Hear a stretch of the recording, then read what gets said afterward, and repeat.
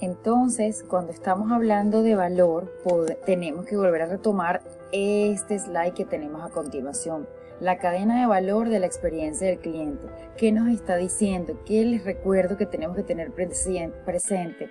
Las promesas que hace una marca, las interacciones que tiene el cliente con la marca, ese conjunto de experiencias, esos momentos críticos o esos momentos de la verdad que vienen siendo esas experiencias que vive día con día, las opiniones y la reputación que va generando esa marca es cuando se empieza a crear verdaderamente el vínculo entre marca y empleado, marca y cliente. Y es allí cuando tiene las empresas que tomar eh, eh, la atención y identificar, ok, ¿de qué manera voy a agregar valor a mi cliente? ¿Cómo este, puedo generar valor para que definitivamente yo sea siempre su opción, eh, para que mm, mm, sea yo la opción versus las otras empresas, siempre buscando solucionar eh, eh, el servicio, solucionar y generar una venta. Entonces vamos a entender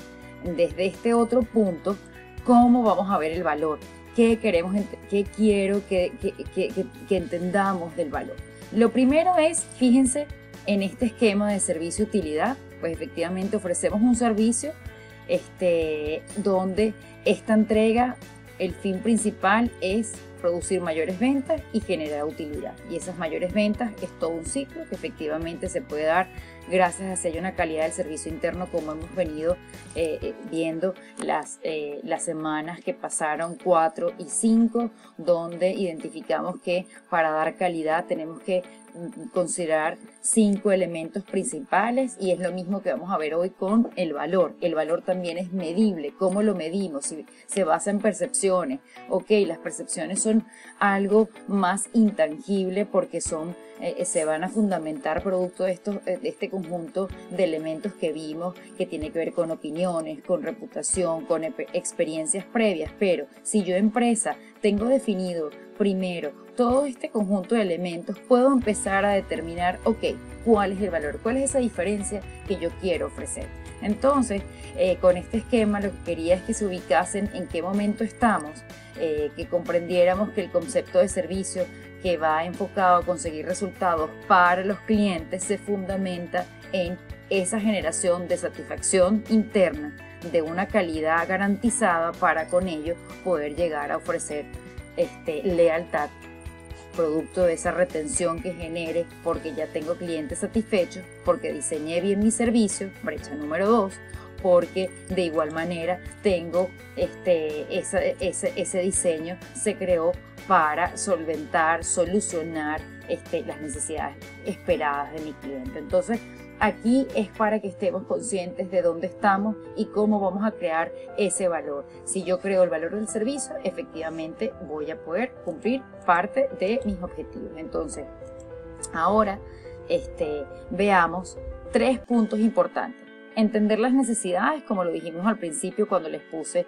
el slide de las necesidades basadas en la pirámide de Maslow, eh, entendiendo el tipo de cliente al cual me voy a dirigir, este, cuál es esa segmentación, identificar la competencia, como no, ya vamos a ver que hay un libro que se fundamenta en las estrategias de los océanos azules, no todas las marcas tenemos que competir este, de igual manera, sino reforzamos nuestro valor buscando esa diferencia pero claro, tenemos que conocer la competencia.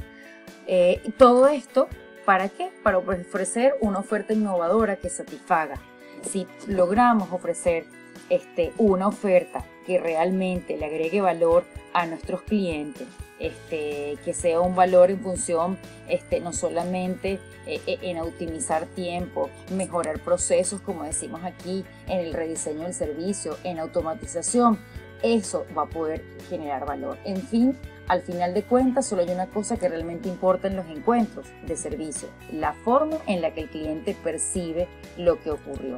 Cuando hablamos de percepciones, efectivamente vamos a ver cómo está compuesta por un conjunto de costos que en muchos momentos eh, el costo no monetario, que es esa parte de lo que te cuesta a ti físicamente, mentalmente eh, e incluso eh, a nivel psicológico eh, recibir un servicio pues para ti versus para tu compañero probablemente va a ser diferente. Entonces cuando hablamos de cliente A, B, C y por eso la importancia de segmentar todos estos costos y este valor percibido, ¿cómo lo podemos identificar? Lo podemos identificar respaldándolo en base a un apoyo que me parece súper interesante, que es esta evaluación del valor del servicio. El servicio lo podemos evaluar en base a estos diferentes este, puntos que vemos aquí, donde podemos ver el valor de, un producto puede ser por ser usar una estrategia de precio bajo, eh, se les pueden venir miles de marcas a la mente de estrategias de precios bajos o puede ser porque el valor para una marca está fundamentado por eh, eh, ese precio mm, mm, donde pagas más, como puede ser por carteras, por coches, este, por unos buenos zapatos, o bien porque sencillamente una marca lo que quiere fortalecer es que eh, quieres ofrecer como marca todo a través de eh, una, un buen soporte en tu servicio o todo lo que tengo por todo lo que te doy.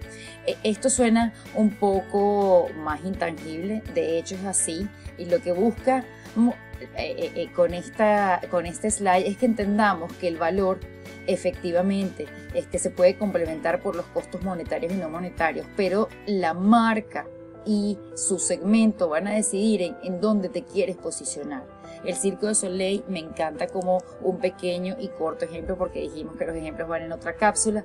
Es una marca que entendió y ubicó lo mejor del circo, lo mejor del teatro se, dio cuenta que la magia del circo era la carpa, dejó la carpa, pero sustituyó, no es que sustituyó los payasos, sino que los puso, eh, como decía eh, el mismo libro de los Océanos Azules, eh, le cambió el humor de brocha gorda, decía, por un estilo más fascinante y sofisticado. Entonces, efectivamente, el secreto está en cómo vas a ofrecer ese, ese elemento diferenciador, sustentándote y apoyándote en en lo que está percibiendo este ciclo de servicio, en lo que percibe ese cliente y por eso eh, el valor que tiene el producto, el valor del personal, el valor de la imagen, que es el valor que, le ofrece o, la asignación de ese valor que el cliente le da a nuestra marca, van a ser elementos que van a influir en esa valoración del precio, en lo que él va a estar dispuesto a pagar, así como cuánto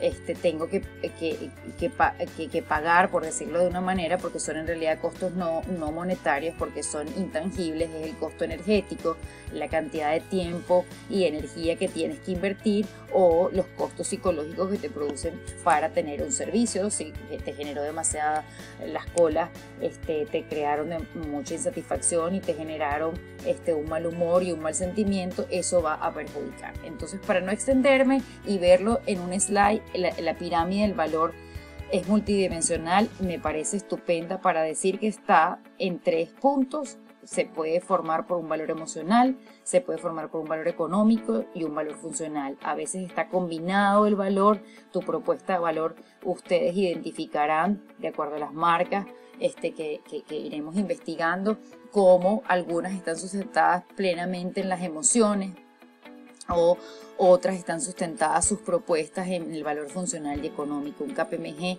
sustenta mucho sus propuestas de, servicio en funcional y, económico y deja la calidad para todo lo que tiene que ver con la disposición, la empatía y ofrecer un buen servicio. Entonces, este, cuando piensen en valor, piensen en esos tres elementos y con ellos yo creo que tienen lista su propuesta de diferenciación. Este esquema sencillamente es para que vean cómo están los costos o el total del valor del cliente. Eh, dividido en, producto, servicio, persona y imagen y lo que les comentaba de los costos este, del cliente en cuanto a la parte de intangibilidad percibidos por el cliente. Ahora bien, este punto sí es importante es donde en realidad yo siento que aterrizamos con el apoyo de Kotler cómo es el marketing basado en valores hoy día. El marketing basado en valores hoy día lo que nos hace es confirmar que efectivamente la creación, que es esa colaboración entre empresas y personas, es básico, es fundamental. Hoy día las marcas este, vemos cómo tienen acciones para apoyo no solamente del medio ambiente, sino apoyo social. Un Danone es líder en todo lo que es esta parte de, de conexión entre sí, las comunidades, este, los patrocinios que dan las marcas en eventos también y el desarrollo de la personalidad, identidad, imagen e integridad son elementos fundamentales. Si una marca y un cliente no, está, no se sienten identificados, si la imagen no es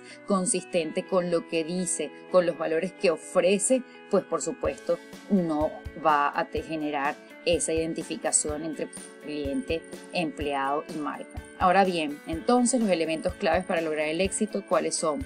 Cliente, conocimiento, relaciones y valor. Son los elementos claves para que se pueda generar a futuro una lealtad, este, donde el precio puede causar sencillamente un plus básico este, y el soporte será fundamental para que un cliente sienta que le agregas valor.